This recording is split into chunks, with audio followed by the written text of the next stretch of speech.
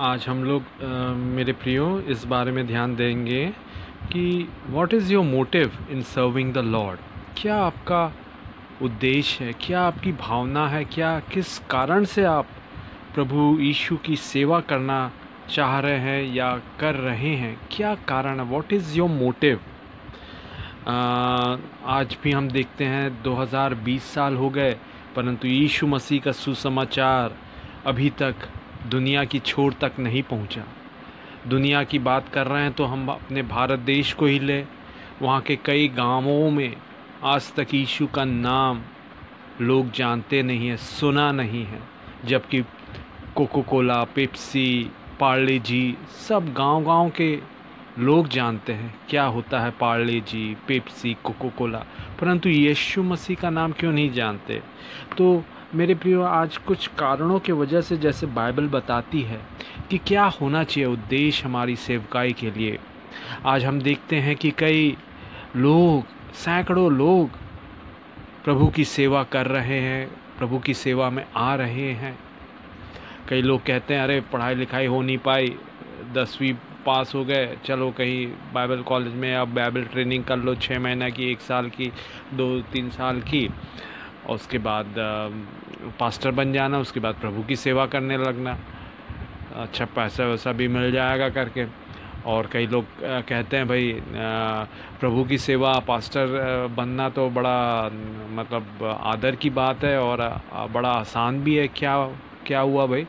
तो एक पास्टर ने ही मुझे बताया था कि पास्टर लोग एक दिन काम करते हैं, वो भी तीन चार घंटे या ज़्यादा ज़्यादा पाँच घंटे, संडे के दिन, और बाकी दिन आराम।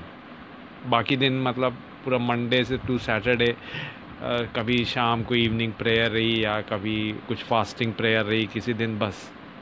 मगर हम अगर सेकुलर जॉब में अगर जो दुनिया के नौकरियाँ हैं, अगर आप अकाउंटेंट है, टीचर है, नर्स है, डॉक्टर हैं चार्टर्ड अकाउंटेंट है कोई भी प्रोफेशनल आप हों या इलेक्ट्रीशियन है मेसन है आपको आठ नौ दस घंटे ड्यूटी करनी पड़ेगी तब जाके आपको पैसे मिलेंगे।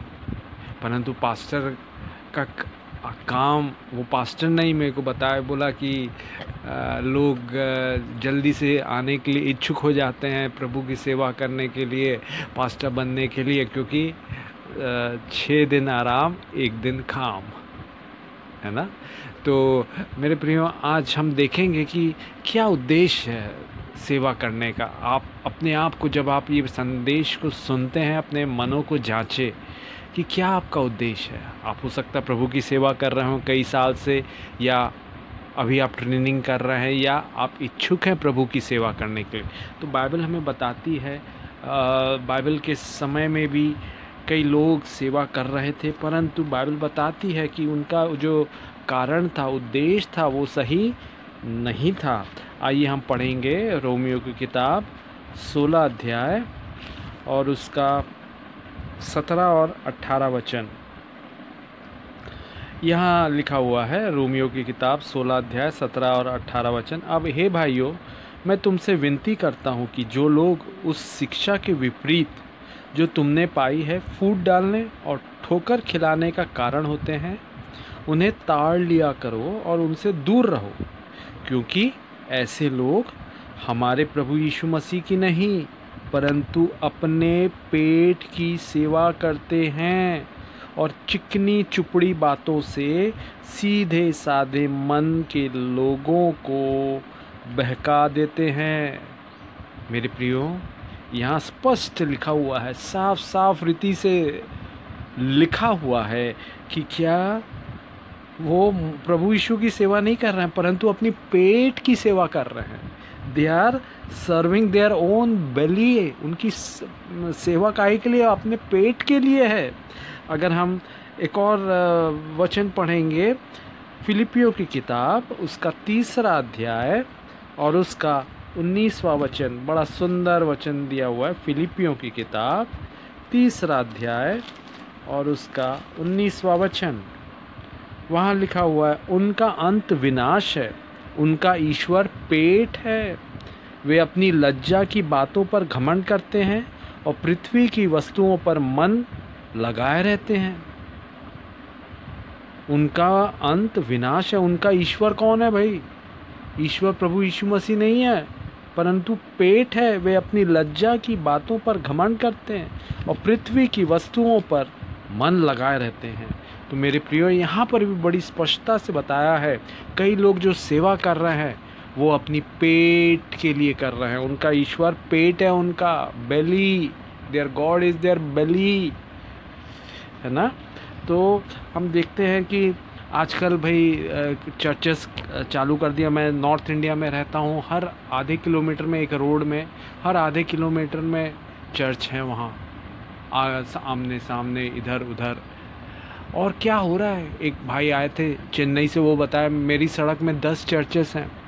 हम लोग अंडमान निकोबार गए थे तो वहाँ हमने, जब हम घूम रहे थे अंडमान निकोबार तो हर स्ट्रीट में वहाँ एक एक चर्च था। सोचिए ऐसे कई गाँव, ऐसे कई शहर हैं जहाँ चर्चेस बिल्कुल नहीं है। एक है, लाखों के संख्या में केवल एक चर्च है, मगर कई जगह देखिए, क्यों? आमने सामने चर्च हो रहे हैं, कोई होटल में लगा रहा है, कोई वो उसका किराया दे रहा है, हॉल का, और बड़ा हाई रेंट, बड़ी ऊँची फ़ीस दे रहा है, दो घंटे, तीन घंटे संडे के लिए, और बेचारे गरीब गरीब लोग आके वो पैसे दे रहे हैं उनको, या फॉरेन से फंड आ रहे हैं, मगर नई जगहों में अनरीच्ड एरिया में न्यू एरियाज़ में न्यू पीपल को, जिन्होंने आज तक सुसमाचार नहीं सुना, उन तक पहुँचा नहीं जा रहा परंतु जो लोग हैं एक चर्च से लेके वहाँ से निकाल के या उनकी जो भेड़े हैं उनको चुरा के दूसरा चर्च चालू कर लिया, यहाँ फ़ूड डाल के एक नया डिवाइड करके, डिवीज़न करके एक अलग चर्च, कलीसिया या हाउस प्रेयर चालू कर दी या हाउस चर्च चालू कर दिया। इस टाइप का हम देख रहे हैं, बहुत वो हो रहा है। तो साफ़ साफ़ बताती है बाइबल की कई लोग जो सेवा कर रहे हैं वो काहे के लिए कर रहे हैं? अपने पेट पूजा के लिए। उनका ईश्वर पेट है वो। ठीक है? तो आज भी हम देखते हैं कई चर्चेस में अरे भीड़ नहीं आ रही है लोग नहीं आ रहे हैं। तो लोग बोलते हैं आ, वो फ़ीस हम देंगे हम सबको खाना खिलाएँगे। आ जाओ अपने दोस्तों रिश्तेदारों पास पड़ोसियों को सबको बुलाओ। तो कई चर्चेस का नाम हो गया चिकन करी चर्च। क्या? चिकन करी चर्च क्योंकि वो हर महीने में दो चार बार चार पाँच संडे रहते हैं तो ज़्यादातर कुछ ना कुछ खाना या आयोजन रहता है उनका। और जैसे मैंने देखा है, कई चर्चेस में जैसे पता चला, पहले से अनाउंस कर दिया कि भाई अगले संडे खाना है। तो जैसे पचास लोग आए हैं उस संडे को तो जब खाने का संडे रहेगा, जब चिकन करी बनी रहेगी। बताएँगे कि चिकन करी अगले संडे बनेगी। आप आइए अपने मित्रों को, पड़ोसियों को, रिश्तेदारों को ले आइए और वो भी आए और सब खा के हम लोग एक साथ प्रभु की आराधना करेंगे। तो अगले संडे देखे तो भाई पचास की जगह डबल हो गए, सौ लोग आ गए। और लोगों को खाने का पैटर्न देखेंगे तो इतना इतना खा रहे हैं, छोटा बच्चा भी। माँ लोग अपने बच्चे को छोटे छोटे चार पाँच साल के इतने इतना मटन और चावल निकाल उनके लिए ले रहे हैं और आधा से ज़्यादा वो खा नहीं पा रहे हैं, फेंक दे रहे हैं वेस्ट हो रहा है। यीशु मसीह ने क्या कहा था? योहन्ना की किताब अगर हम पढ़ेंगे कि जब वो रोटियों को मल्टीप्लाई कर रहा था तो यीशु मसीह ने कहा था कि कोई भी वो वेस्ट ना हो, कोई भी वो नथिंग शुड बी वेस्टेड मेरे प्रियो। तो जब हम देखेंगे योहन्ना छः, उसका पाँच से लेके पंद्रह वचन तक तो उसमें दिया हुआ है कि यीशु मसीह ने स्पष्ट रूप से कहा, योहन्ना छः बारह में, कि बचे हुए टुकड़े बटोर लो कि कुछ फेंका ना जाए, कुछ खोया ना जाए, कुछ वेस्ट ना हो। इंग्लिश में दिया हुआ nothing should be wasted gather the fragment जो बचा हुआ है, उसको बटोर लो। और उन्होंने बटोरा और बारह टोकरी था वो। सोचिए, यीशु मसीह ने भी वेस्ट होने नहीं दिया। तो आज हमारी कलीसियाओं में, भले वो लोग कंट्रीब्यूट कर रहे हैं या फॉरेन से फंड आ रहा है या कहीं से भी कोई डोनेशन दे रहा है, मगर कोई तो कोई, भाई, इस उद्देश्य से दे रहा है कि प्रभु यीशु का प्रचार होगा। मगर क्या हो रहा है? Mismanagement wastage of money wastage of resources खाना बर्बाद हो जा रहा है, खाना फेंका जा रहा है, कई लोग भूखे हैं। आप चले जाइए रेलवे स्टेशन में, चौक में, कई भिखारी लोग मिल जाएँगे, भूखे लोग। उनके पास खाना नहीं, परंतु यहाँ पर लोग ज़्यादा ज़्यादा ले ले रहे हैं, खा नहीं पा रहे हैं, फेंक दे रहे हैं। और मैं तो ताजुब हो गया। कुछ चर्चेस में मैंने देखा कि खाने के जैसे अनाउंस कर दिया भाई अगले संडे खाना है। तो अगले संडे ठीक है पचास लोग आते थे तो उस दिन आ, सुबह जैसे सर्विस चालू हुई तो उस समय आए साठ लोग पैंसठ लोग।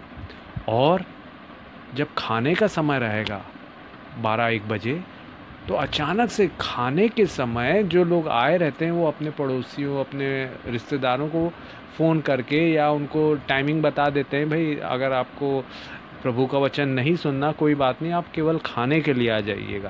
तो 12 एक बजे खाने के लिए करीब 120 130 लोग आ जाते हैं। 50 लोग आते हैं वैसे कलीसिया में, मगर खाने के नाम पे 120 130 खाने के समय और उसके बाद वो कहाँ चले जाते हैं, क्या है, कुछ नहीं, कुछ पता नहीं। तो मेरे प्रियो, ये हो गया है, क्या मगर कलीसिया को, क्या चर्च को ये खाने का ऐसा करना चाहिए कि भाई ठीक है, लोग खुश हो के या किसी उपलक्ष्य में जन्मदिन के या थैंक्स गिविंग फ़ीस या जो भी है, ठीक है, मगर लोगों को अट्रैक्ट करना लोगों को आकर्षित करना कि लोग आए, दूसरे चर्च छोड़ के हमारे चर्च में आए, क्योंकि हमारे यहाँ खाना भी मिलता है, ये भी चाय, कॉफ़ी, नाश्ता भी मिलता है। नहीं मेरे प्रियो तो फिर ये हम उसी के समान हो जाएँगे कि जो लोग यीशु मसीह की सेवा नहीं कर रहा, परंतु अपने पेट की सेवा कर रहे। They are serving their own belly हम दूसरों को ऐसा उत्तेजित करेंगे कि वो भी खाने के लालच, उनको हम लालच दिलाएँगे। तो ये बात सही नहीं है मेरे प्रियो। दूसरा कारण, क्यों कई लोग प्रभु यीशु की सेवा करना चाहते हैं, कर रहे हैं, परंतु उनका उद्देश्य उनका जो कारण है, मोटिव, वो सही नहीं है। बाइबल बताती है, फिलिपियों की किताब अगर हम पढ़ें, पहला अध्याय और पंद्रह और सोलह, फिलिपियों की किताब पहला अध्याय और पंद्रह और सोलह, बड़ा प्यारा वचन लिखा हुआ है वहाँ पर कि काहे के लिए लोग भाई सेवा कर रहे हैं। देखिए, लिखा हुआ है, कुछ तो डाह और झगड़े के कारण मसीह का प्रचार करते हैं, कुछ भली इच्छा से। कई, एक तो यह जानकर कि मैं सुसमाचार के लिए उत्तर देने को ठहराया गया हूँ, प्रेम से प्रचार करते हैं। आप किस कैटेगरी में हैं मेरे भाइयों, मेरी बहनों? काहे के लिए आप प्रचार कर रहे हैं? यहाँ स्पष्ट दिया हुआ है। पॉलूस लिखता है, कुछ डाह, ईर्ष्या, एनवे के कारण, स्ट्राइव के कारण प्रचार कर रहे हैं, परंतु कुछ गुडविल से प्रचार कर रहे हैं। कुछ लोग सेल्फिश एम्बिशन से कर रहे हैं नॉट सिंसियरली मेरे प्रियो, कई बार हम देखते हैं, अरे, उसकी पत्नी प्रचार कर रही है तो मेरी पत्नी क्यों नहीं करे? आपकी पत्नी को भले बोलना नहीं आता, ठीक से बताना नहीं आता, भाषा नहीं आता, बाइबल पढ़ना नहीं आता नॉलेज नहीं है बाइबल का, मगर फिर भी, अरे नहीं, उसकी पत्नी कर रही है, उसका लड़का कर रहा है, उसकी लड़की कर रही है, उसका पिताजी कर रहा है तो मैं भी कर रहा हूँ परिवारवाद आ जाता है। तो डा, अरे उस, उसका कर रहा है तो मैं भी करूँगा। मैं उसकी पत्नी का प्रचार कर रही उसका पति, उसका बेटा, उसकी बेटी तो मैं भी प्रचार करूँगा। ईर्ष्या डाह जलन, ये आ जाता है। तो बाइबल हमें चेतावनी देती है, इस उद्देश्य से हम सेवा ना करें मेरे प्रियो। देखिए, और एक और वचन कहता है, फिलिपियों की किताब, दूसरा अध्याय, और उसका इक्कीसवा वचन, फिलिपियों दूसरा अध्याय और उसका इक्कीसवा वचन, वहाँ लिखा हुआ है, क्योंकि सब अपने स्वार्थ की खोज में रहते हैं, न कि यीशु मसीह की। यहाँ पॉलूस बड़े दुख के साथ कह रहा है, सब लोग काहे के लिए अपने स्वार्थ की खोज में रहते हैं, न कि यीशु मसीह की? यीशु मसीह के राज्य, यीशु मसीह के सुसमाचार से उनका कोई लेना देना नहीं, उनका स्वार्थ पूरा होना है। Their selfish desire should be fulfilled अब जैसे कन्वेंशन आयोजित करते हैं तो स्पीकर्स बुलाते हैं अलग अलग जगहों से। तो मेरे प्रियो, मैं जहाँ जाता था एक कलीसिया में, वहाँ पर वो जो पास्टर साहब थे, उनका लड़का एक बाइबल कॉलेज में पढ़ता था। तो जो बाइबल कॉलेज का उनका लड़के का प्रोफेसर उनको वो हर साल बुला रहे हैं कंटिन्यूस दो तीन साल बुला रहे हैं। अब वो जो आ, उनके प्रोफेसर थे उनके जो बाइबल कॉलेज टीचर थे भाई वो एक ही सब्जेक्ट के बारे में बताते थे और भाई कन्वेंशन हुआ लोगों से कंट्रीब्यूशन लिया आपने और मतलब फंड्स की अपील की लोगों से डोनेशन दान चंदा मांगा, लोगों ने दिया। उसके बाद स्पीकर आप अपना स्वार्थ से बुला रहे हैं। आपके लड़के का बाइबल कॉलेज का टीचर को आपने बुला लिया ताकि बाइबल कॉलेज में अच्छे नंबर दें। आपका लड़के से खुश रहें, वो उसकी देखभाल करें। अरे, देखो, ये मेरा स्टूडेंट का पिताजी ने अपने चर्च में मेरे को स्पीकर के रूप में बुलाया। मैं उसको ज़्यादा नंबर दूँगा, मैं उसकी विशेष केयर करूँगा, विशेष चिंता करूँगा। ये स्वार्थ है मेरे प्रिय। और जबकि आत्माएँ नहीं बच रही हैं, एक साल सुन लिया, दो साल सुन लिया, अरे तीसरे साल भी उसी को बुला रहे हैं, और कोई प्रचारक नहीं है। और वो भी, वो बाइबल जो टीचर हैं, केवल एक ही टॉपिक पे प्रचार करते थे। और आत्माएँ ऐसा नहीं कि पहले साल अगर पाँच बची तो दूसरे साल पंद्रह, बीस बचे, ऐसा कुछ नहीं। जो पिछले साल भी बची, वो जो जिनको बपतिस्मा लेना है, कुछ लोग थोड़े बहुत बच गए तो बच गए।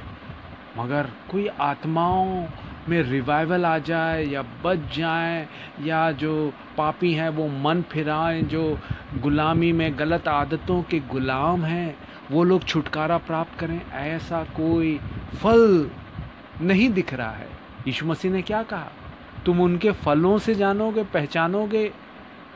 तो मेरे प्रियो, क्या हम स्वार्थ से सेवा कर रहे हैं यीशु की, अपने स्वार्थ से। हम देखते हैं कि कई लोग, वो एक ही पास्टर को, एक ही वो चर्च के, उसको बुलाएँगे। क्यों? क्योंकि वहाँ से उनको सपोर्ट आता है। हर महीने पैसे मिलते हैं उनको। उनको आत्माओं की बचाए जाना, नाश होने से, बचाए जाने से लेना देना नहीं है। केवल उनको अपने सपोर्ट के लिए, अरे हमारा वो फंड्स देते हैं, भेजते हैं फॉरेन से, यहाँ इंडिया से भी हमको देते हैं वो लोग और पैसे हर महीने भेजते हैं करके। तो हम उन्हीं को स्पीकर के तौर पे बुलाएँगे। तो मेरे प्रियो, चेक कीजिए आप, अपने आप को जांचें।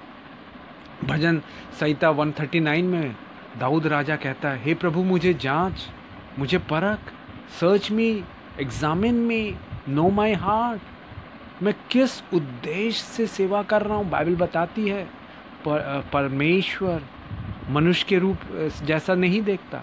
मनुष्य तो बाहरी रूप देखता है परंतु परमेश्वर जो है हृदय को देखता है। हृदय को देखता है। आपकी भावनाओं को आपके मन को वो जांचता है वो वो जांचने वाला है आपकी भावनाओं आपके विचारों का। किस उद्देश्य से किस विचार से आप प्रभु की सेवा कर रहे हैं। मेरे प्रियो, आप अपने आप को जांचें कि क्या, किस उद्देश्य से आप सेवा कर रहे हैं प्रभु यीशु मसीह की। क्या केवल पैसे के लिए कि अरे, मैं उसको बुला लूँ स्पीकर के रूप में? वहाँ से मेरे को फंड्स मिल जाएँगे। वो मेरे को सपोर्ट करता है। तो मैं उसको बुलाऊँगा करके। नहीं मेरे प्रियो, बाइबल बताती हमारा परमेश्वर हमारे हृदय को जांचता है। अगर हम पढ़ेंगे यर्मिया, उसका सत्रह और उसका दस, बड़ा प्यारा सुंदर वचन है, वहाँ लिखा हुआ है, मैं यहवा मन को खोजता और हृदय को जांचता हूँ, ताकि प्रत्येक जन को उसकी चाल चलन के अनुसार, अर्थात उसके कामों का फल दूँ। मेरे प्रियो परमेश्वर जांचता है, मन को खोजता है, ताकि प्रत्येक जन को उसकी चाल चलन के अनुसार उसके कामों का फल दे। एक देखने वाला है। आप चाहे कहीं अंधेरे में कर रहे हो, चाहे पहाड़ में, चाहे गुफा में, कहीं पर भी आप कर रहे हो, कोई देख नहीं रहा हो। परंतु एक सीसीटीवी लगा हुआ है। वो कभी ख़राब नहीं होता, कभी बंद नहीं होता, या उसका आउट ऑफ़ रेंज नहीं होता। परमेश्वर की आँखें हैं, वो भले और बुरे दोनों को देखते रहती है। बाइबल बताती है कि उसके सामने कुछ भी छिपा नहीं है। अगर हम पढ़ेंगे इब्रानियों चार तेरह में everything is naked before him उसके सामने कुछ भी छिपा हुआ नहीं है मेरे प्रियो। नीति वचन पंद्रह तीन में लिखा हुआ है यहुआ की आँखें सब स्थानों में लगी रहती हैं, वह बुरे भले दोनों को देखते रहती है।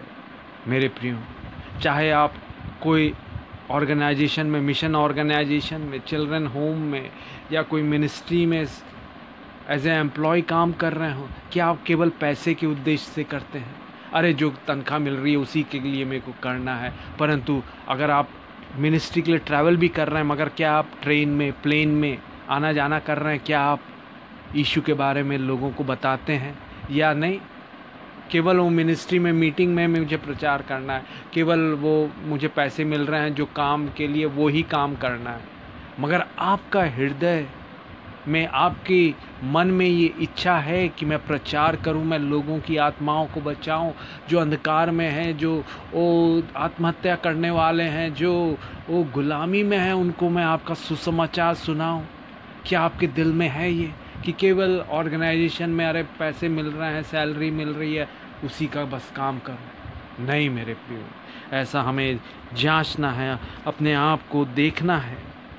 और हम देखते कि कई लोग भाई लोगों के यहाँ विज़िट करते हैं काहे के लिए? क्योंकि खाना, अरे, ये ब्रदर अच्छा खाना खिलाते हैं, ये ब्रदर अच्छा सिस्टर अच्छा नाश्ता कराती हैं।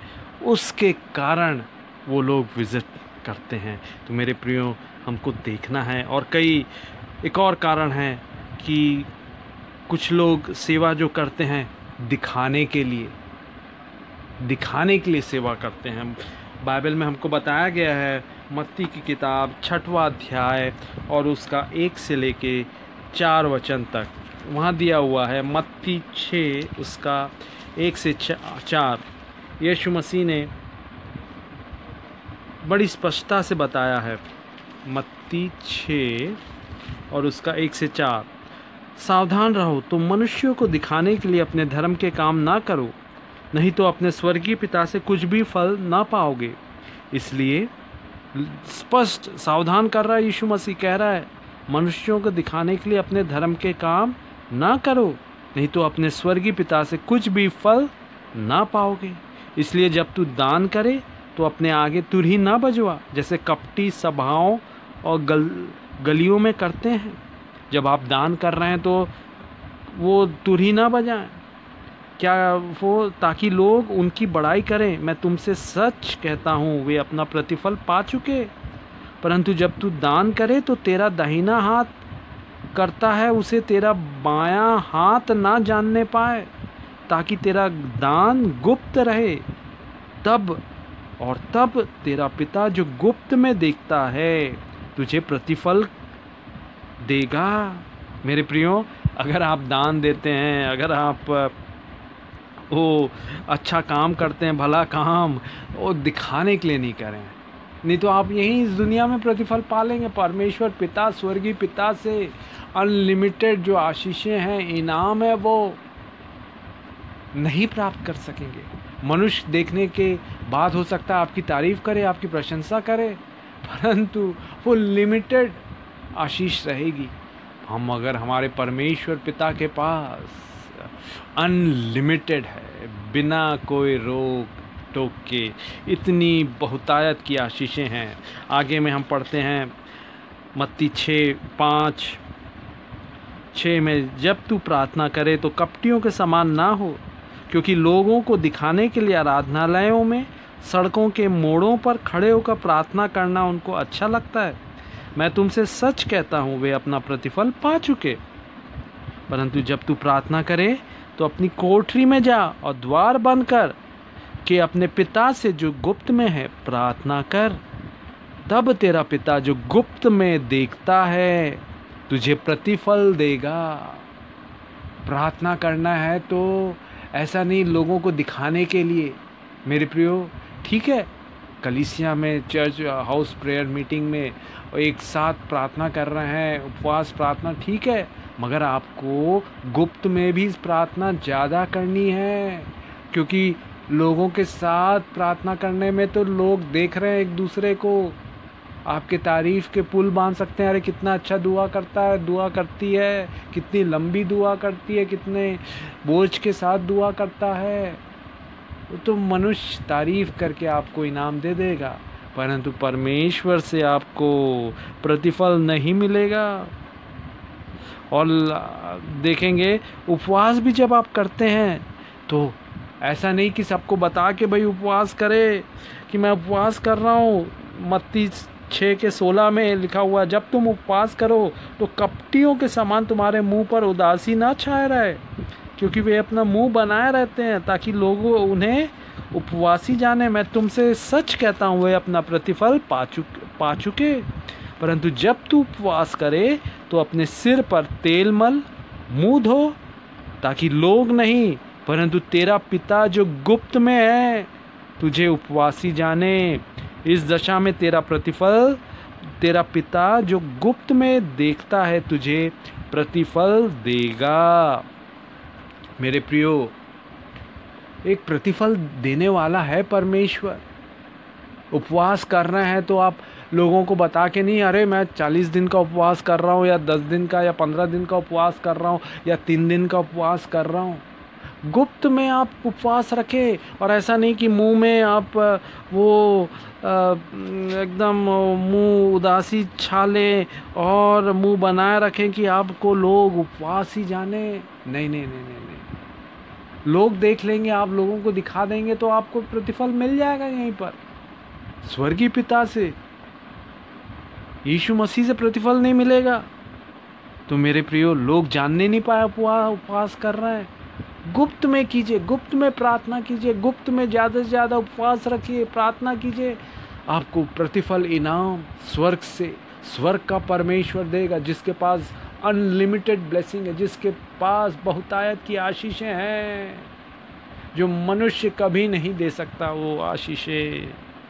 इतनी बड़ी आशीषें, हालेलुया।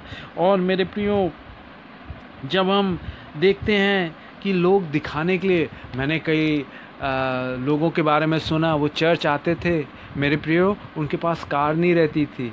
तो भाई कार नहीं है घर में। तो चर्च आने के लिए लोगों को देखने के लिए, दिखाने के लिए क्या करते थे वो? किराए में कार लेकर चर्च आते थे। तीन घंटे के लिए, दो घंटे के लिए। ताकि लोग देखें, अरे, कार में आ रहे हैं।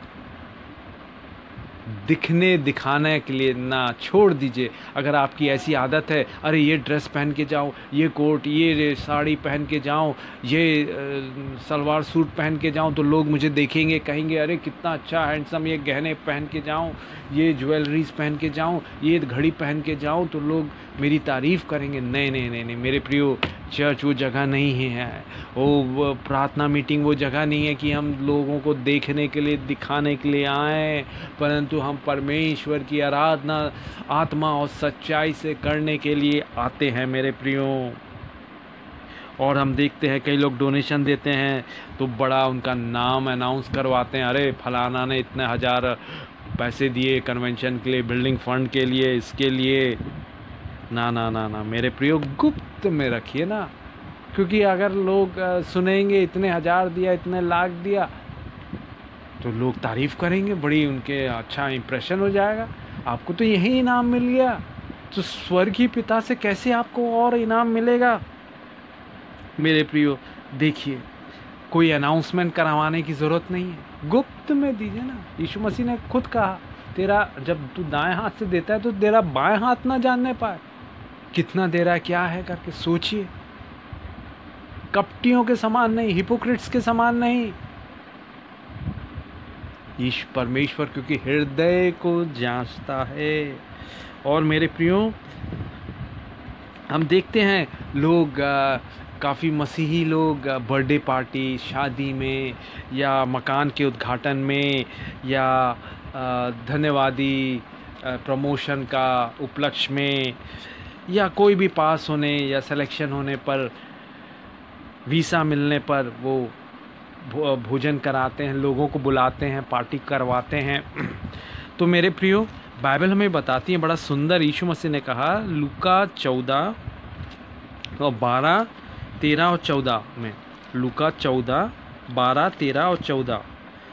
तब उसने अपने नेवता देने वाले से कहा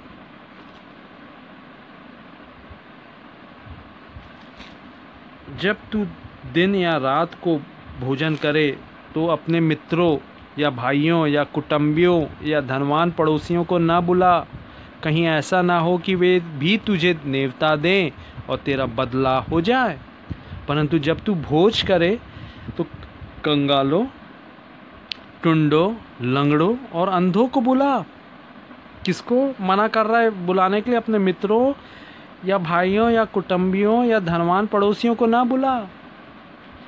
कहीं ऐसा ना हो कि वे भी तुझे नैवता दे। अरे, आप अपने पड़ोसी को बुलाएँगे, अपने रिश्तेदार को बुलाएँगे तो आपके लिए वो गिफ्ट लाएगा या अगली बार आपको भी बुलाएगा अपने बर्थडे पार्टी में, फ़ंक्शन में या प्रार्थना मीटिंग में या एनिवर्सरी में।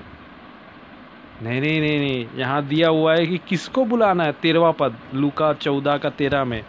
परंतु जब तू भोज करे तो कंगालों, टुंडों, लंगड़ों और अंधों को बुला। किसको बुलाना है? कंगाल लोग। आपके शहर में, आपके गाँव में भिखारी लोग दिखते होंगे। उनको बुलाओ। टुंडे लोग, लंगड़े, लूले लोग स्टेशन में मिल जाएँगे, बस स्टैंड के पास मिल जाएँगे, चौक में मिल जाएँगे, सड़क के किनारे मिल जाएँगे आपको। उनको बुलाओ, अंधों को बुलाओ। तब तू, चौदह पद कहता है, तब तू धन्य होगा, क्योंकि उनके पास तुझे बदला देने को कुछ नहीं। परंतु तुझे धर्मियों के जी उठने पर इसका प्रतिफल मिलेगा। सोचिए, जब आप कंगालों, टुंडों और लंगड़ों और अंधों को बुलाएँगे, तब आप धन्य होंगे, क्योंकि उनके पास तुझे आपको बदला देने को कुछ नहीं। परंतु तुझे धर्मियों के जी उठने पर इसका प्रतिफल मिलेगा। Give without expecting anything in return आप भोजन खिला रहे हैं, सोचिए। आप उनको बुलाइए ना भाई, अनाथों को बुलाइए, कंगालों को बुलाइए, टुंडो, लंगड़ों, अंधों को बुलाइए, जिनको कोई बुलाता नहीं, जिनको वो बासी खाना पड़ता है, वो आपका स्वादिष्ट भोज को खा के आनंदित होंगे। ईशु का प्रचार होगा, प्रसार होगा। अरे, कौन है ये लोग? मसीह लोग हैं। और आपको स्वर्गीय पिता से इनाम, प्रतिफल मिलेगा मेरे प्रियो। तो इसलिए जब भी आप भोजन कराएँ, अपने घर में, अपने कलीसिया में, अपने ओ फ्रेंड्स में, याद रखिए। इस बात को मत भूलिएगा मेरे प्रियो। और एक और उद्देश्य है जो लोग करते हैं यीशु मसीह की सेवकाई अगर हम पढ़ेंगे, पहला तिमोथी और उसका छठवा अध्याय और उसका पांचवा और छठवा वचन, पहला तिमोथी, छठवा अध्याय, पाँच और छः वचन। और उन मनुष्यों में व्यर्थ रगड़े झगड़े उत्पन्न होते हैं, जिनकी बुद्धि बिगड़ गई है। वे सत्य से विहीन हो गए हैं, जो समझते हैं कि भक्ति कमाई का द्वार है। क्या समझते हैं वो ये लोग कि भक्ति कमाई का द्वार है? भाई, पैसे कमाना है? अरे, आप मीटिंग आयोजित कीजिए, मिनिस्ट्री में आ जाइए, पैसे कमाना है तो पर छठवा वचन कहता है, पर संतोष सहित भक्ति बड़ी कमाई है। संतोष सहित भक्ति बड़ी कमाई है। इंग्लिश में दिया हुआ है some who suppose that godliness is a means of gain फ़ायदे के लिए, कमाने के लिए। For, from such withdraw yourself. Now godliness with contentment is great gain. संतोष सहित भक्ति बड़ी कमाई है। आगे दिया हुआ है, पर क्योंकि न हम जगत में कुछ लाए हैं, न कुछ ले जा सकते हैं। पर यदि हमारे पास खाने पीने और पहनने को हो, इन्हीं पर संतोष करना चाहिए। पर जो धनी होना चाहते हैं, वे ऐसी परीक्षा और फंदे और बहुत सी व्यर्थ और हानिकारक लालसाओं में फंसते हैं, जो मनुष्यों को बिगाड़ देती है। और विनाश के समुद्र में डुबा देती है। दसवा वचन कहता है, क्योंकि रुपयों का लोभ रुपए का लोभ सब प्रकार की बुराइयों की जड़ है, जिसे प्राप्त करने का प्रयत्न करते हुए बहुतों ने विश्वास से भटककर अपने आप को नाना प्रकार के दुखों से छलनी बना लिया है। For the love of money is the root of all kind of evil. Many have pierced themselves with many sorrows. मेरे प्रियो why you want to be trapped आप क्यों घायल होना चाहते हैं क्यों आप अपने आप को नुकसान पहुंचाना चाहते हैं दुखों से क्यों छलनी करना चाहते हैं रुपए खराब नहीं है, परंतु रुपयों का लोभ लालच नहीं करना। कुलूसियों, तीसरा अध्याय और उसका पांचवा वचन कहता है, कुलुसियों, तीसरा अध्याय, पांचवा वचन, इसलिए अपने उन अंगों को मार डालो जो पृथ्वी पर है, अर्थात व्यभिचार, अशुद्धता, दुष्कामना, बुरी लालसा और लोभ लोभ लालच, जो को जो मूर्ति पूजा के बराबर है, ये लोभ जो है, मूर्ति पूजा के बराबर है। जो दस आज्ञाएँ दी गई थी, परमेश्वर ने अपने लोगों को, उसमें से एक आज्ञा है, तू लालच नहीं करना निर्गमन बीस सत्रह में। यू शैल नॉट खोवेट पर अपनी पड़ोस की स्त्री का, पड़ोस के मकान का, उनके जानवरों का, धन संपत्ति किसी भी वस्तु का लालच नहीं करना। क्या आपके मन में लालच होता? अरे ये पास्टर के पास ये वाला आईफोन वाला नया लेटेस्ट वाला मोबाइल है कैमरा है। चलो मेरे पास भी हो। नहीं मेरे प्रियो, लालच नहीं करना है। बाइबल स्पष्टता से हमें बताती है कि लालच, ओ लालच से बड़ा नुकसान होता है ख़ास तौर से पैसों का लालच। अपने आप को हम लोग जांचें मेरे प्रियो कि क्या, किस उद्देश्य से हम प्रभु यीशु की सेवा कर रहे हैं। क्या लालच के कारण कर रहे हैं? पैसों का लालच या भक्ति हमने समझ ली है? कमाई का द्वार है। आज हम देखते वो कई नॉर्थ इंडिया में जहाँ मैं रहता हूँ, वहाँ पर ओवर लैपिंग मीटिंग्स होती है।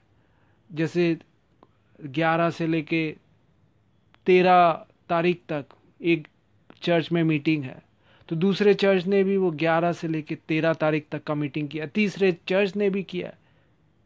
तो क्या हो रहा है मेरे प्रियो? जो मसीही लोग हैं, जो विश्वासी लोग हैं, वो तो उतने ही लिमिटेड है, थोड़े हैं। वो तीन तीन जगह उन्हीं दिनों में कैसे जाएँगे?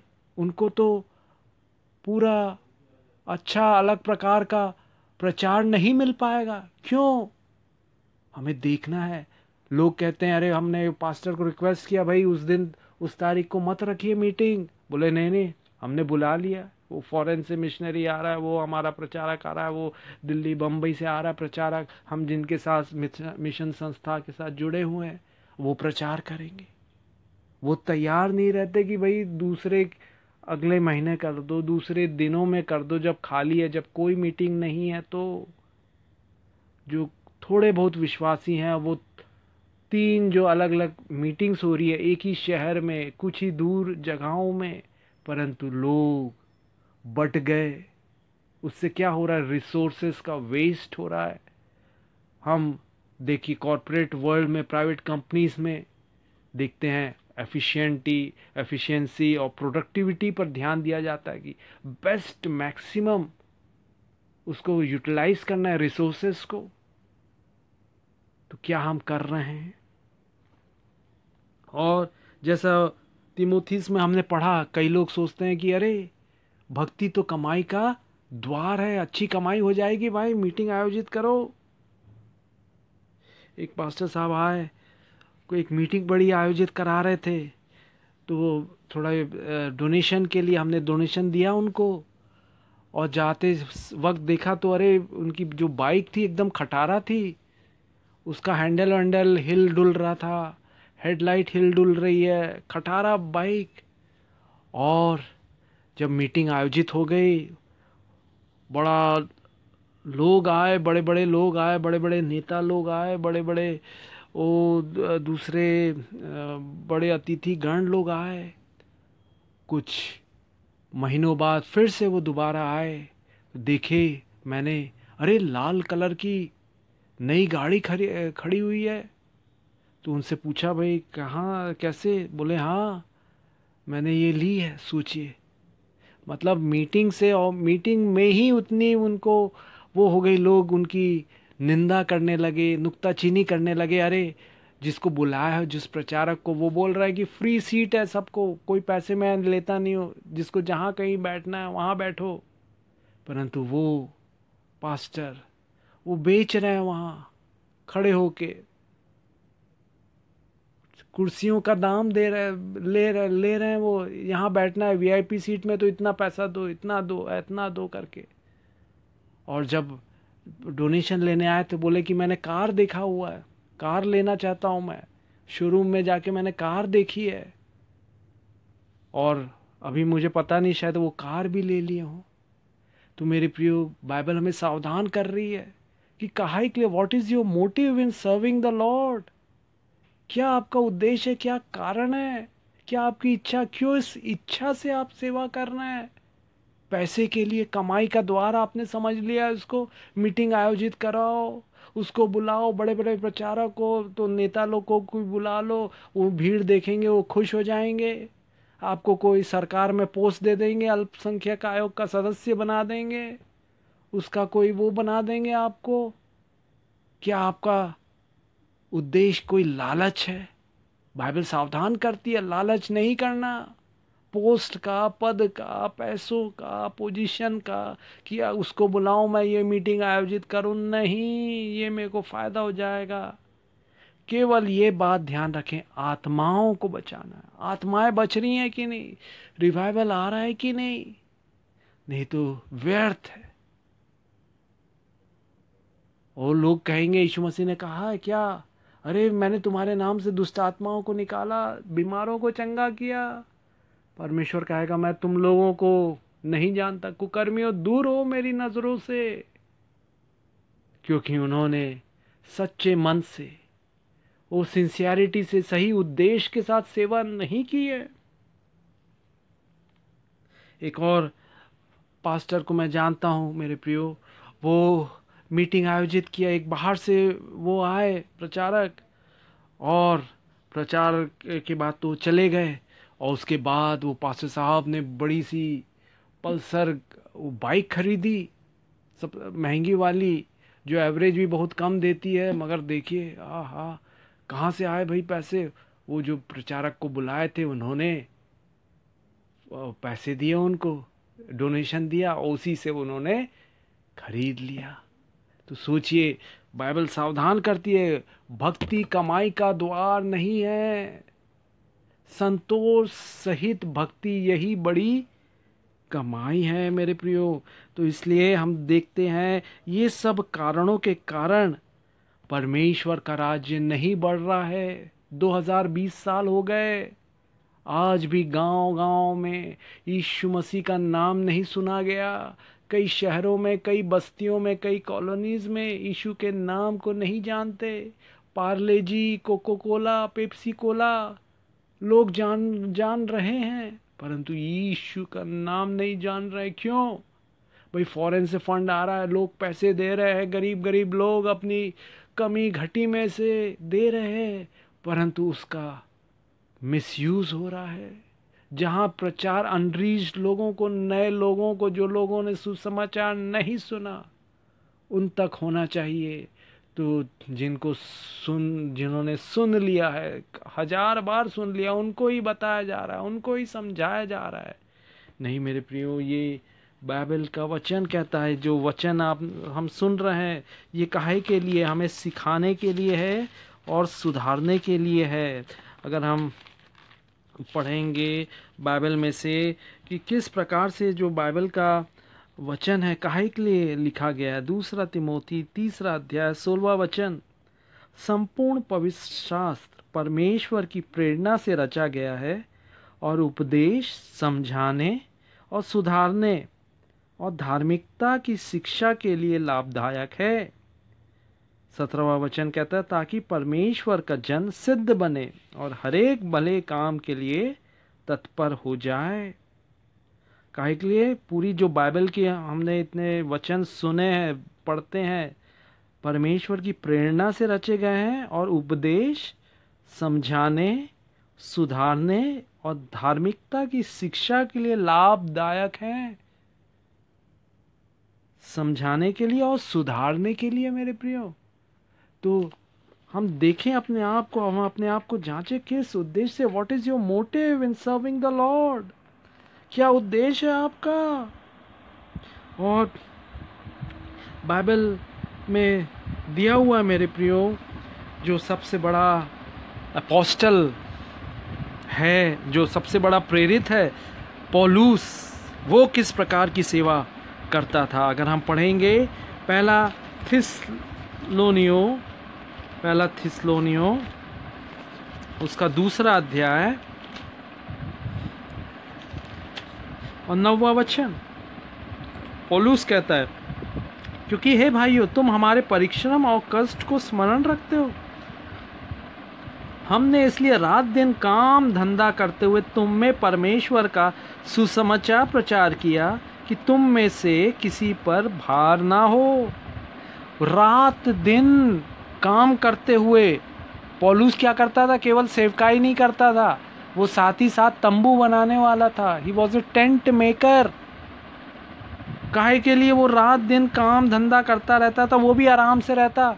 अरे छः दिन आराम करो, एक दिन काम करो। नहीं, वो काम भी करता था, अपना सेकुलर जॉब ताकि किसी पर भी भार ना हो। और हम देखेंगे दूसरा थिसलोनियो उसका तीसरा अध्याय और उसका सातवां और दसवां वचन। क्योंकि तुम आप जानते हो कि किस रीति से हमारी सी चाल चलनी चाहिए, क्योंकि हम तुम्हारे बीच में अनुचित चाल ना चलें और किसी की रोटी मुफ़्त में ना खाई देखिए, किसी की रोटी मुफ़्त में ना खाई पर परिश्रम, कष्ट से रात दिन काम धंधा करते थे कि तुम में से किसी पर भार ना हो। या नहीं कि हमें अधिकार नहीं, परंतु इसलिए कि अपने आप को तुम्हारे लिए आदर्श ठहराएँ कि तुम हमारी सी चाल चलो। क्योंकि जब हम तुम्हारे यहाँ थे, तब भी हम यह आज्ञा तुम्हें देते थे कि यदि कोई काम करना ना चाहे तो खाने भी ना पाए। मेरे प्रियो, क्या हो रहा है? क्या हम ऐसा काम कर रहे हैं? पॉलूस ने इतनी कलीसियाओं की स्थापना की, इतने उसने वो बाइबल के वो पथरी पथरियाँ लिखी उसने। परंतु वो क्या फुल टाइम था? नहीं, वो अपने कमाने काम धंधा करता था, परिश्रम और कष्ट से रात दिन काम धंधा करते करते, ताकि किसी पर भार ना हो, किसी पर बर्डन ना हो। हमने देखते हैं कि आज बेचारे वो पास्टर लोग घर में विजिटिंग के लिए आते हैं। उनको मिशन से भी थोड़ा बहुत पैसा मिलता है। वो घर घर में भी जाते हैं, कुछ ना कुछ मिल जाए। गरीब लोगों के यहाँ जा रहे हैं, झुग्गी झोपड़ियों में जा रहे हैं। बेचारे गरीब लोगों के पास पैसे स्कूल का बच्चों के लिए नहीं है वो खाने के लिए कम पड़ रहा है। परंतु वो पास्टर आए हुए हैं तो उनको देते हैं पैसे। और उनके यहाँ केवल एक ही पास्टर नहीं, और भी अलग अलग कलीसियाओं के बस आ जाते हैं।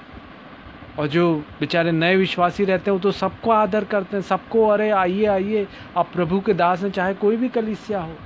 और वो उनको कुछ भेंट देते हैं, दान देते हैं, परंतु विश्वासी बेचारा कितना वो संघर्षों का सामना करता रहता है।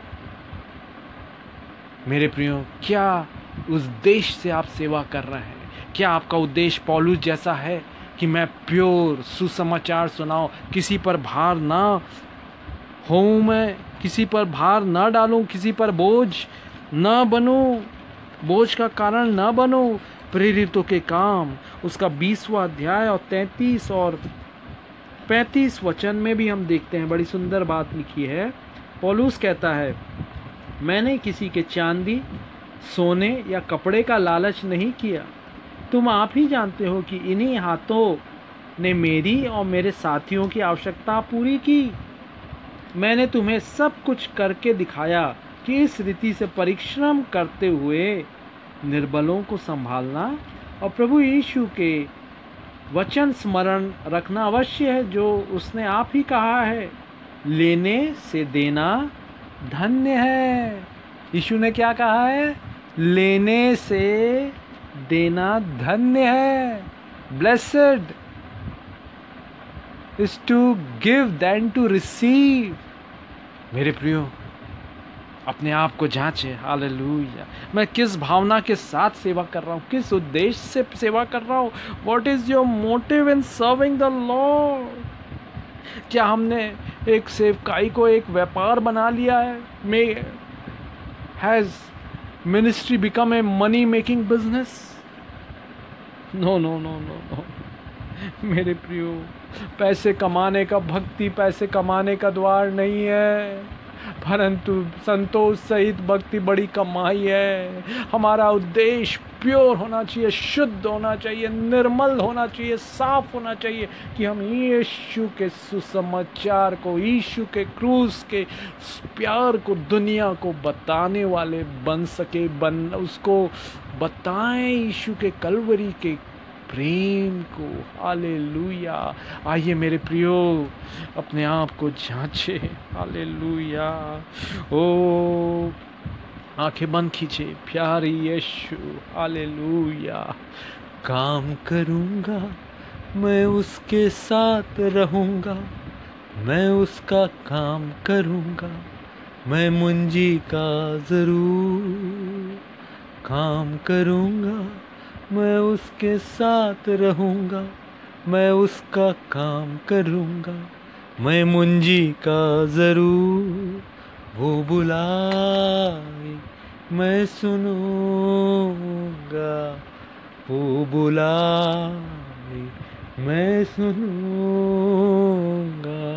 काम करूँगा, मैं मुंजी का ज़रूर। प्यारे यीशु आपने ये वचनों को पिता प्रेरित किया कि मैं बोलूँ आले आपके लोगों से पिता, आपके दास लोग, आपके प्रचारक लोग, आपके पासबान, आपके पास्टर, आपके सेवक पिता, वो जांचें अपने मनों को किस उद्देश्य के साथ वो सेवा कर रहे हैं। Hallelujah. What is their motive in serving the Lord Jesus the great I am वो किस उद्देश्य से, किस इरादे से, किस मतलब से वो सेवा कर रहे हैं? केवल एक ही शुद्ध निर्मल साफ़ उद्देश्य हो जाए कि यीशु के कलवरी के प्रेम को बताना है, सुनाना है, हालेलुया। जिसने प्यार किया दुनिया से, हालेलुया। अपनी जान दे दी, अपनी कीमती खून बहाया, खून की आखिरी बूंद बहाई। ओ यीशु, हृदय में प्रेम को भर दे। और अपने जैसा कर make me more like thee Oh Jesus make me more like thee Give me a heart that's filled with love and make me more like thee Yes Lord make your people like you अपने सेवकों को अपने जैसा बना दीजिए पैसों के लालच। भोजन का लालच पेट की सेवा नहीं अपने स्वार्थ की सेवा नहीं। डाह और बैर से प्र, प्रचार नहीं के उद्देश्य से प्रचार नहीं। कंपटीशन के कंपैरिजन के उद्देश्य से प्रचार नहीं। परंतु आपके स्वच्छ निर्मल ओ प्योर वर्ड के प्रचार के लिए लगा सकें। पिता, अपना दिल, दिमाग। यस लॉर्ड अपनी शक्ति। हालेलुया अपने रिसोर्सेस कोई भी वेस्ट ना हो, कोई भी फेंका ना जाए, कोई भी खराब, बर्बाद ना हो। हालेलुया पैसे, सामान, खाना, कोई भी व्यर्थ ना जाए, खराब ना हो, बर्बाद ना हो। हालेलुया प्यारे यीशु, अपने दासों को। अपने गले से लगाइए, उन्हें चूमिए, उन्हें आनंदित कीजिए, उन्हें आशीष दीजिए पिता। ओ, वो दिखाने के लिए लोगों को सेवा ना करे, दिखाने के लिए प्रार्थना ना करे, दिखाने के लिए उपवास ना रखे, दिखाने के लिए दान ना दें। परंतु गुप्त में आपसे प्रतिफल पाने के लिए, क्योंकि जो आप इनाम देंगे, जो आप प्रतिफल देंगे, कई हज़ारों लाखों गुण ओ ज़्यादा रहेगा। हालेलुया। मनुष्य की आशीष, मनुष्य की, ओ प्रशंसा थोड़ी है समय के लिए। उनके ओपिनियन उनके विचार बदल सकते हैं। वो आज आपको अच्छा बोल रहे हैं। कल हो सकता है बुरा बोल दें। उनका कोई भरोसा नहीं, परंतु परमेश्वर जब बढ़ाएगा, ओ उन्नति, ओ, न तो पूरब से पश्चिम से आती, परंतु परमेश्वर से आती है। Promotion doesn't come from east west but comes from the Lord hallelujah परमेश्वर यीशु मसीह से आती है। वो यीशु मसीह, इसी समय अपने लोगों को छू के पिता, उन्हें आशीष दीजिए। प्रेरित पौलूस के समान वो कह सके, अब से मैं जीवित ना रहा, परंतु यीशु मसीह मुझमें जीवित है और मैं अपना जीवन यीशु मसीह के लिए जी रहा हूँ। प्रेरित पौलूस के समान वो दूसरों पर भार ना, बोझ ना बने पिता। हाले लुया जैसे आपने कहा, लेने से देना धन्य है। हालेलुया, इस वचनों का वो पालन कर सके। हम ये प्रार्थना को यीशु के आशीष देने वाले नाम में मांगते हैं। आमीन। बोलिए, धन्यवाद यीशु। थैंक यू जीसस धन्यवाद यीशु। हालेलुया अगर आप ईमानदारी से सेवा करेंगे, आप सच्चाई से सेवा करेंगे, यीशु मसीह स्वर्ग में इनाम देगा और इस दुनिया में भी आपकी ईमानदारी, आपकी सच्चाई का प्रतिफल देगा देगा देगा हालेलुया जय यीशु जय यीशु आमेन आमेन हालेलुया